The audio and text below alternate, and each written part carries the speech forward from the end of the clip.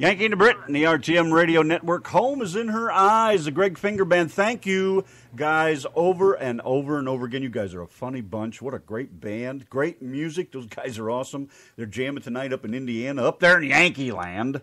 But yes, whatever. They are. Kelly Lee Phillips. Kelly on the Lee line. Phillips, for hope you're- real. I hope you're still listening, Debra. Hello, Dove. Hey. Hey, how are y'all? Doing all right. hey. And what is that place there? How do you say that place on the phone? Massachusetts. Massachusetts. Correct. wow. Unfortunately. Hey, that's your fault. You can move anytime to Texas that you want to. I know, I should, I should. I have family there. But boy, I hear a Boston accent over there. No, no, no, no. No? Yeah? You better say y'all.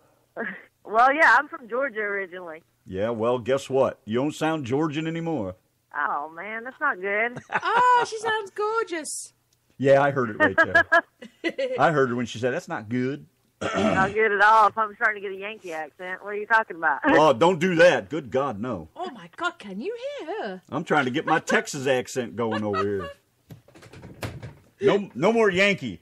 So, how are you? Everything all right up there in the cold, frozen tundra of the north? Um, it was good. It's good if it quit snowing. I'd be happy.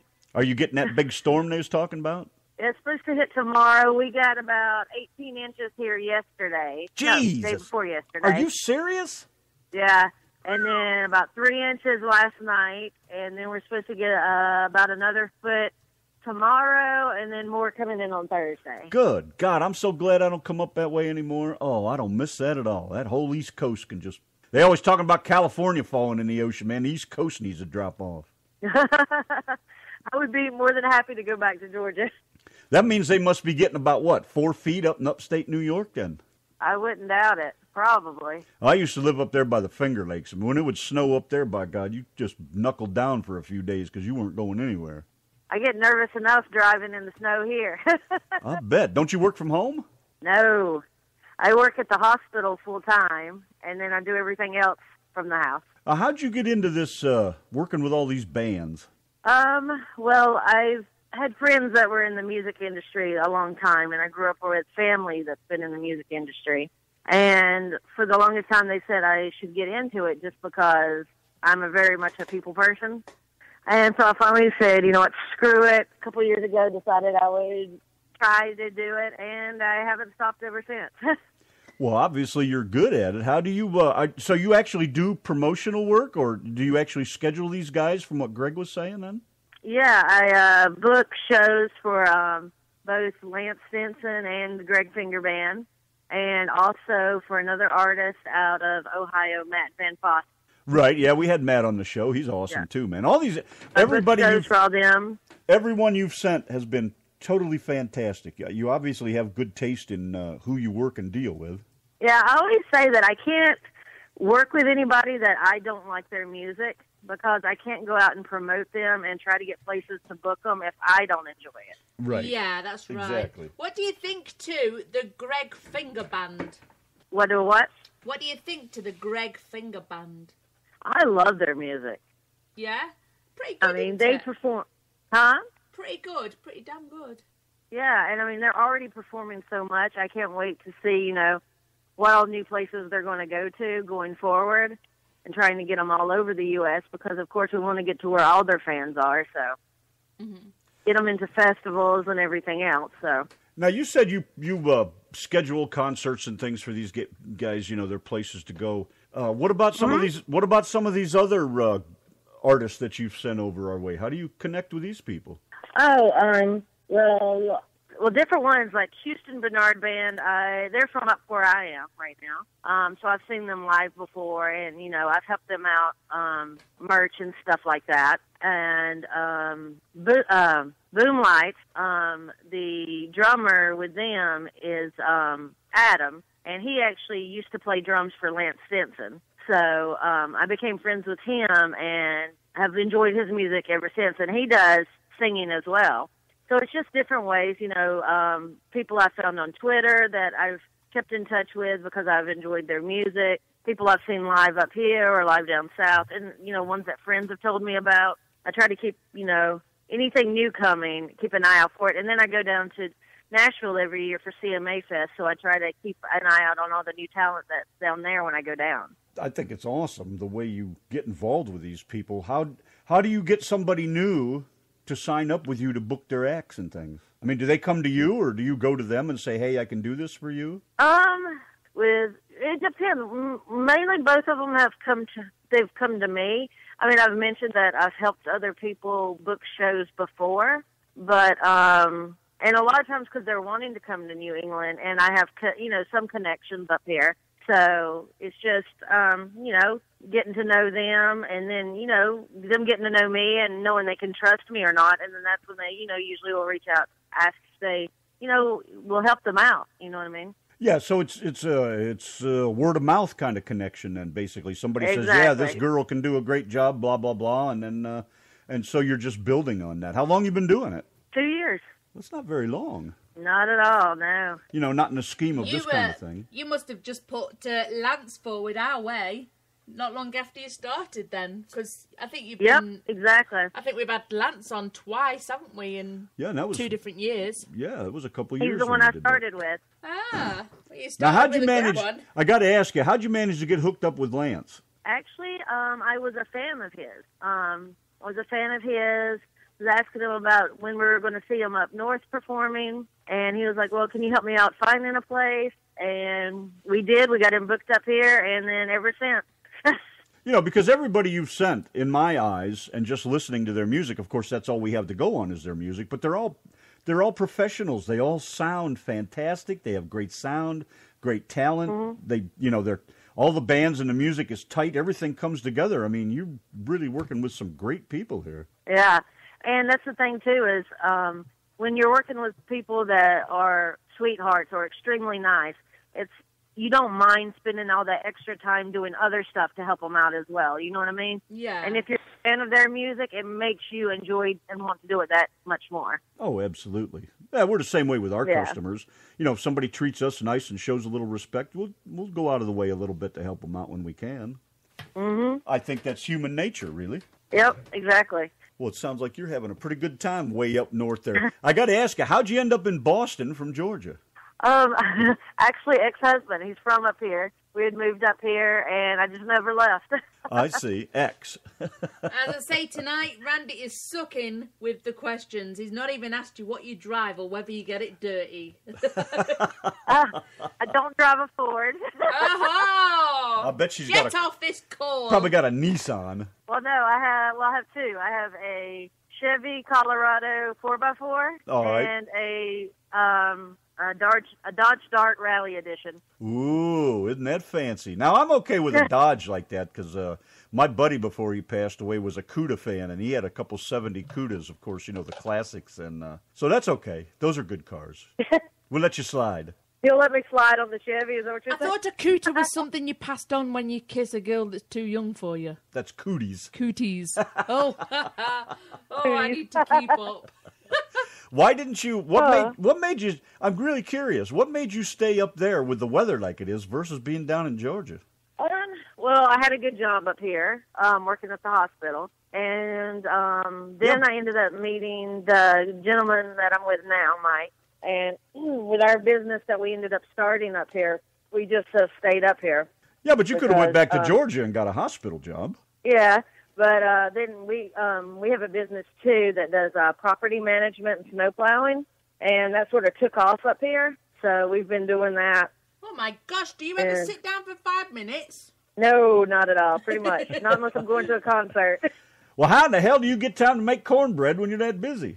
He likes to cook. I have no time. Ah, there you go. Yep. I Oh. found me a man that likes to cook, so that was wonderful. Now, where's your where's your latest man from? He's from up there. Um, he's born up here, raised in South Carolina, Oh, and hell. lived in Florida for a while. Oh, he he's got it all. Up here. He's got a little bit of everything. Then no wonder you're all right. Yeah, he's an Air Force guy, so he was in the Air Force, so he was all over. I just, uh, you know, uh, being from Ohio, Northeast Ohio, we get the snow like you get. Got the snow. I've been down here in Texas eight years. I don't know, and you know, I drove truck for twenty years before I moved here. I can't imagine in my life why anybody would want to stay up there when you can move to the south, where you know, like here, winter is like two weeks long, and then the weather starts Yep. getting nice again. You know why anybody wants to stay up there? Just beyond me, but people. do I don't know. I always talk to them like, can't we go to Georgia, Tennessee, somewhere? That's what I'm. That's what I'm saying. You know? I think mine's partly hillbilly blood though, because my mom's purebred hillbilly, and you know I got all that hillbilly in me, so that accent every once in a while comes out when I talk to my kin, and so that might be what part of it is. I probably do have a little bit of southern blood in me. Yeah, if it was up to me, I would go down south again because all my family's down there too. So Well, that's just. I'm the only one that moved away from the hometown. Well, ain't that just sp- something special? So, what is your future plans with all these handsome young bands that you keep getting? Well, of course, we'd love to get them out there more and, you know, all over and get, you know, especially them on the radio because that's going to bring, you know, more fans in for them. And, you know, I can't wait to hear more music by all of them. That's what I love. Yeah. Yeah, But- I mean, keep sending Over. it. You get that music. And I would love to be it. able to get out and travel to some places I haven't been to, you know, eventually, you know, with these guys and get, you know, like Texas because I haven't been out there. Oh, you're always welcome to come to Texas. Okay. Exactly. Bring that need to- Georgia accent and some of that country cooking with you. Exactly. that family not too far from Dallas, so I should get out there. Well, see, you ain't got no reason not to come. Exactly. So, uh, do you have Mickey Lamentia under your wings then? Are you going to try and put him our way? I sent him a message a little while ago. I'm just waiting to hear back from him. Oh, awesome. Well, uh, you know, I personally, I'm sure Dono agrees, is uh, we just been tickled to death since you come along because you send all these people over here and they've been great and we have so much fun with them. We don't have to be, uh, you know, and I like a lot of them because we don't have to be so formal and, uh, you know, we don't do formal, that's for sure. And uh, of course, we're nothing like terrestrial radio. We don't care about uh, we don't care about divorces and ex-wives. You know, we just want to have fun and find out who you are and what it's all about. That's uh, our thing. Exactly. And you've made that so easy for us and so much fun. And the music is just the music is beyond great. You know, and and I was a big country fan in the '90s. You know, um, Oh, me too. Lee Roy Parnell and all those guys, Sammy Kershaw and all those guys were jamming Martina McBride, you know, and now that kind of disappeared. Rio, yeah. And a lot of that disappeared. and you've been bringing back these people that are playing that kind of music again, and it's just it's just friggin' awesome. I don't know what else to say. You know, really blows us away. We look forward to, you know, especially me now. I look forward to Saturday night too now because it's country and country's starting to uh, listening to these guys. It's really getting back to the kind of stuff I like because I'm a classic rocker. You know, I was raised on raised on Van Halen and that kind of thing. But you, uh, you've done wonders for this. I just, you know, I bow down to you. Thank you very much. Oh, no problem. I'm glad to do it. You know, like I said, I love getting their music out there. And the one I was telling her about that she was asking if um I can uh get him on there. Um he is really old. Um he makes you think of like Waylon and Merle Haggard and Yeah, right. Exactly. The so if I can get him on there with you, I definitely will. Cool. Oh, uh, you should tune in tomorrow and wait till you hear Steve Hickman. I'm sure I mentioned him. I'm sure I sent you a link for his music the other day. Steve Hickman is going to be on the show tomorrow with Keith Sampson, and we had Keith Sampson on uh, last week. Yeah. They're both going to be on together tomorrow. It's going to be a great night, so uh, you want to tune in. oh yeah, you that was on during the Super Bowl. Yeah, that's right. Yeah. That's why I missed it. Ah. well, I have posted it up. If you get time, just have a listen. They're brilliant guys. You know, they really, really are gonna go far. I hope. Yeah, right. I will definitely. Debra says you have to say hello to her. Who says? Debra that holds the tits in the chat room. Oh, Debra. Yeah, Debra, Hey. Debra that holds the tits, the ones that holds the boobies. hey, Debra. Well, I'm just tickled to death. That's you took a few minutes to come over and hang out with us. That's pretty nice. yeah, of course, anytime. See, there's that Georgia accent. Anytime. anytime. I heard that. Did you ever hear? Um, I think it might have been either um, American Idol or X Factor or something. A guy called Philip Phillips from Georgia. Yeah. hmm Isn't he just amazing? Yeah, he is good. Yes. I think I was absolutely glued to the TV while he was on. I just can't remember what program it was, but I was glued because There's was just so many good Georgia uh, Georgia artists. Yes. So many. Um, there's a good. Well, he's not from Georgia. He's from South Carolina. Um, Doug McCormick. If none, of, if y'all or your listeners haven't ever heard of him, he is amazing too. He's got um, a new album out, and he is really, really good. Ah, we actually watched um, a program called America's Dumbest. Yeah, and they were all people from Georgia trying to trying to uh, steal cash machines from petrol stations by uh, by hooking up like cables and uh, connecting them to the back of the trucks and uh, driving off. Um, and all you could see was uh, cash machines uh, just being dragged dragged across You keep the road. beating up. You keep beating up on them rebels, and she's gonna knock you in the next week. Them throwing chairs and then throwing chairs at the windows to try and break a window at the petrol station. And every time, every time there was a program of America's Dumbest, it was always people from Georgia doing stupid stuff. I wouldn't doubt it. Hey, I spent a lot of time in Georgia. I like it down there. I love it down there. Well, I'm from the north part, the North Mountains of Georgia. No, ain't nothing wrong with that. That's even prettier than the rest of it. Yep, right there. I was born, I was born right there in well, Rome, Georgia. So right on the Alabama line and not far from the Tennessee line, right up there in the corner. Yeah, beautiful place, man. I love driving around up Mhm. there. Absolutely gorgeous. Gorgeous area. Yes, ma'am. Oh, look at Greg! Look at Greg McCormick. Ooh, I'm gonna like his page. can, can we keep him, Kelly? Can we take him home and keep him? He's actually amazing. I actually first time I ever heard of him was two years ago when I was at CMA Fest in Nashville, and he was playing in the celebrity softball tournament. And then I heard his music and everything, and fell in love with him right after. And he is the nicest guy on social media and stuff like that. But I love his music. Love, love, love, love it. Oh wow! Yeah, we'll check him out when we're done here. Look at those eyes.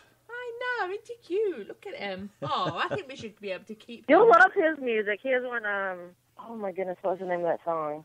I'm drawing a blank now, but I'll get it to you. Chop chop. I Here know, he right? is, look. There's Larry. Larry in the chat room says he has a friend from Adel in Georgia. We've been wondering where Larry is all night. I know. I wonder what Yeah, I think to him. that's South Georgia, right? Yeah, I believe so. Oh, wow.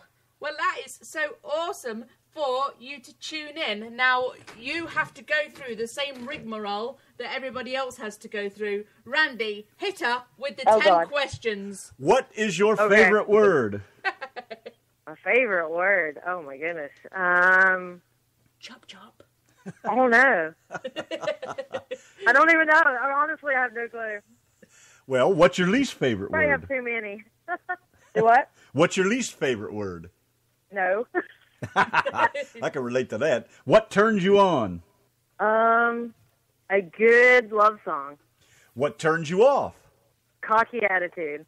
What sound do you love? Good music. What sound do you But hate? it doesn't have to be a type.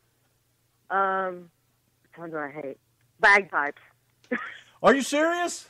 Yes, they drive me up the wall. Oh, I think they're cool as hell. Bon Scott with AC/DC played bagpipes in his, some of his rock and roll music. I think that's too cool. Um, they drive me crazy sometimes. what What's your favorite curse word? Fuck. What profession other than yours would you like to attempt? Um, if I could sing, I would love to be a singer, but I can't, and I would kill your ears. What profession would you not like to do? Uh, that person that pumps out the poop. You know you look Oh, poop just as much people, as I do. whatever they're called. What's she talking about? She says the person that comes out to clear your poop. The septic system guy? Yeah, those people. The shit suckers. I know that she loves her poo humour. Okay, finally. If heaven exists, what would you like to hear God say when you arrive at the pearly gates? You did a good job, and I'm glad you didn't screw up. There you go. That's it. There you go. You are free. I'm free. I'm over here being attacked by a cat anyway, so. oh, not quite free then. Well, thank you, dear, very much for coming by and hanging out with us and bringing that southern accent back to life. Oh, thanks for having me. You're welcome. You take care, I'll talk to y'all later. Okay, bye bye.